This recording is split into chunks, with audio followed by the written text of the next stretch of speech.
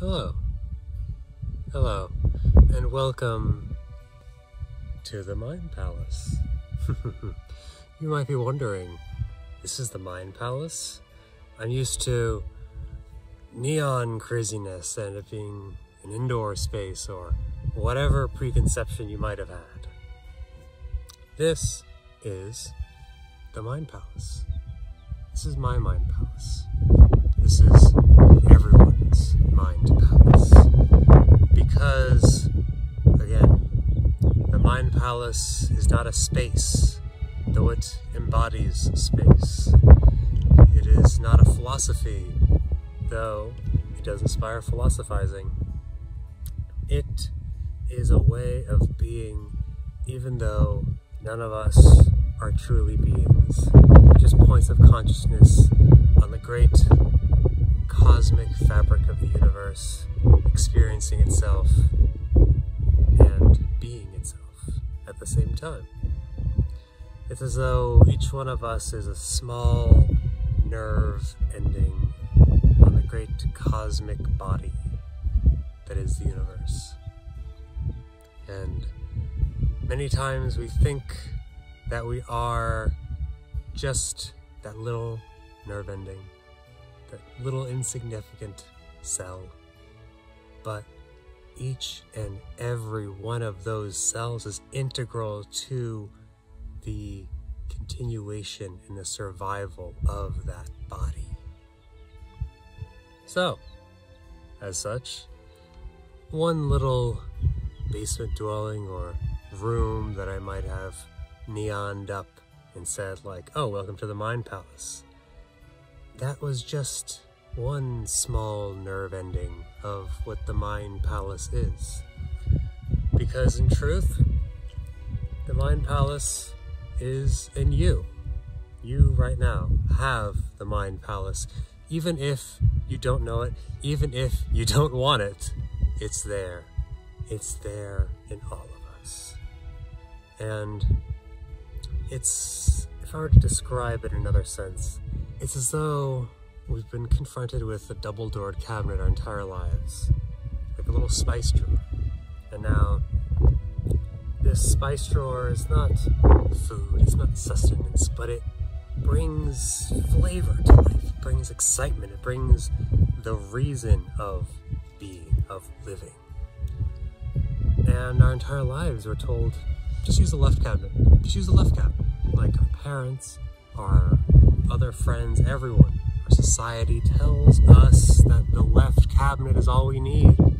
All we need are the physical objects, the things like this laptop, which I wanted to record on, but it was dead. And you, you want to see what this this is? This is my my fucking laptop is these days. It's pretty crazy. But it decided not to work today. Isn't that great? Because I forgot to charge it. Whoops. That's the Mind Palace for you. Does things without you realizing it. Because I charged it last night, and so I'm quite surprised that I guess it must have been on all night last night without me realizing it, and just died before I got to record anything on this silly thing. so until then, you're just gonna have me with this little phone conversation. Little phone camera but as I was saying about the cabinet, about material objects, material desires, happiness, as though that is that is all we need. And as a child, we grow up asking our parents and other people around us, like, what about the other cabinet? What about that? Yeah, see? Confirmation. What about the other cabinet? Is there is there anything in there? And I was like, no, no, no, just don't don't bother, don't bother. Like like they'll they'll entertain perhaps as a child us reaching into the left drawer and then like doing a little left a little right turn and maybe grabbing something in the right drawer being like and maybe pull something out, you're like, oh, what is the meaning of life? Oh, why are we here? Oh, what like what is the point of anything? like these questions we find in the other drawer, which is why most of us don't bother. And especially little doggies like that one. Right, Stella? Stella! Yes. but we we just think that that's all that there needs to be. All there needs to be is the left drawer. Because the right drawer, with all those big questions as to the meaning and the purpose of life, what does it serve? What could it possibly serve? It's not going to make you any money, is it? It's not going to bring you, I don't know, any, any closer to your career goals or you meeting the love of your life. So, what is the point? Right now, right now, come on, Leo.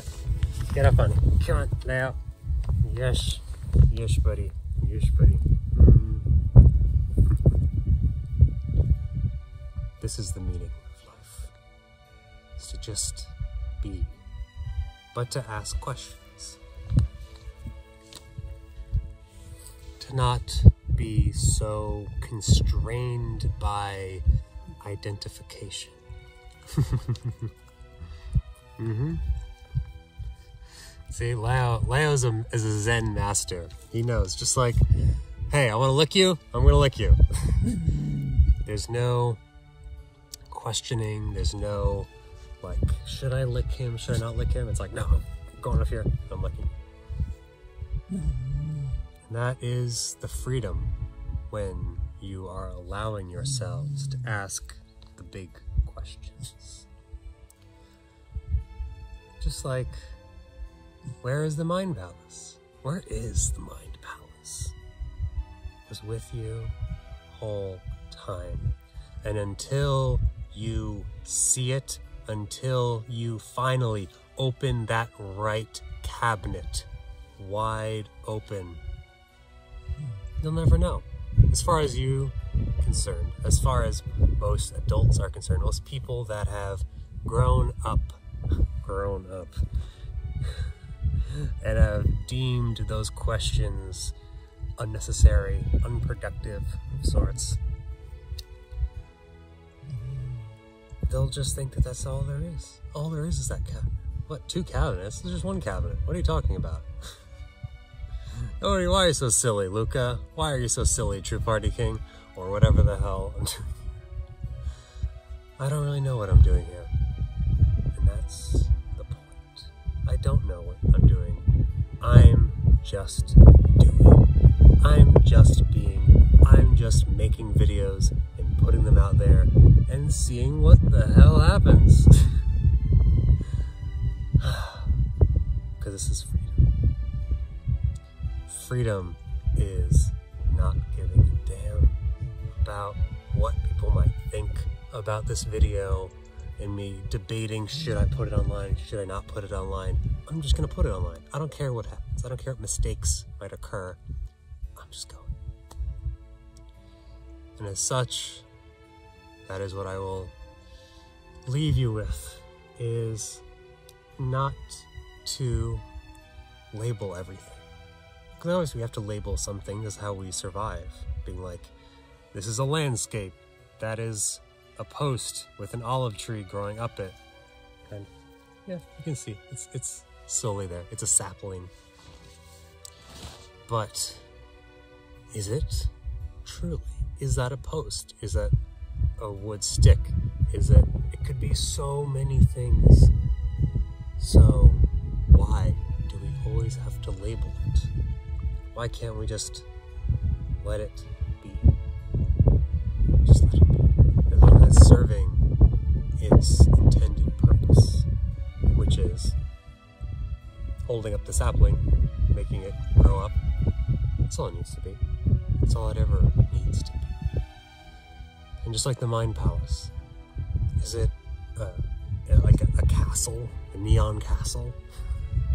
is it uh, uh, like the, the mental memory map thing, like a memory palace that most people are aware of, which is where the Mind Palace derived its name from.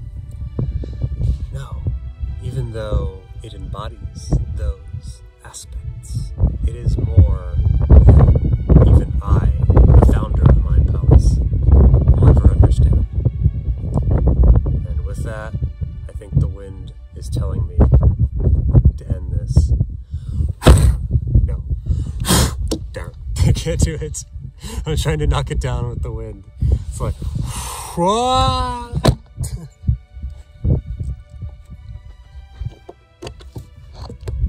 that, was, that was just me doing that. But Stella, you want to be in this too? Stella. Stella. Stella, over here. No, Stella, over here. Stella, over here. No. Stella, over here. Come on. Come on, baby. Come on, baby. I know, I know, Leo. Yes. Come on, Stella. Stop licking.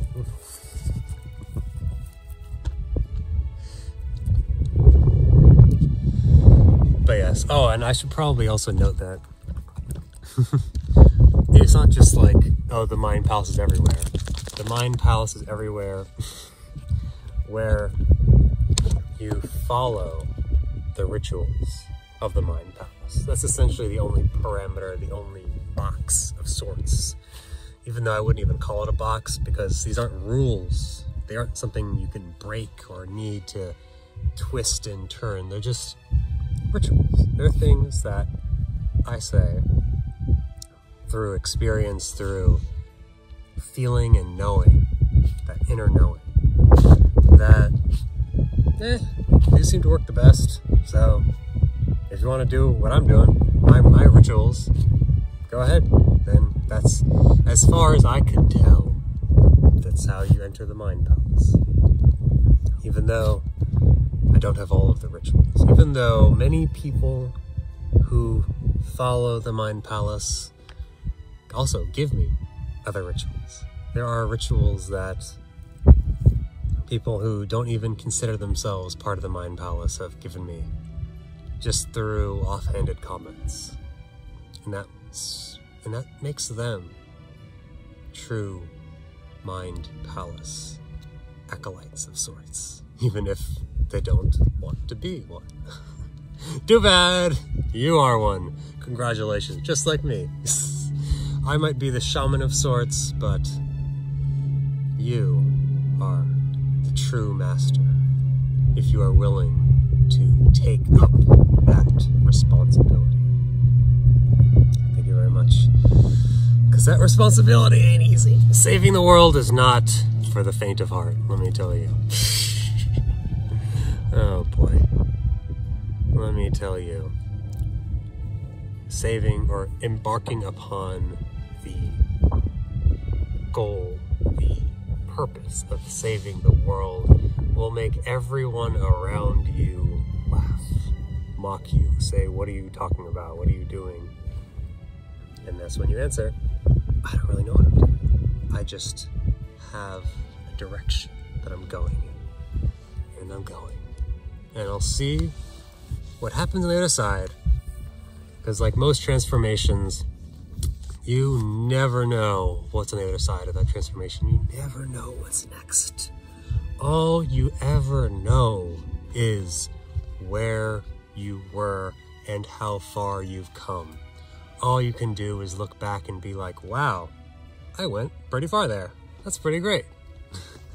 I did this whole hike on an empty stomach, about a 36 hour fast, hiked it to the top of this hill, and as far as I'm concerned, that means that I'm in the Mind Palace. So, we'll see what you think being in the Mind Palace is. If you have any suggestions on rituals, there's a, another video that I can link to or show you a thing for. And welcome. I hope you join me soon in the Mind Palace.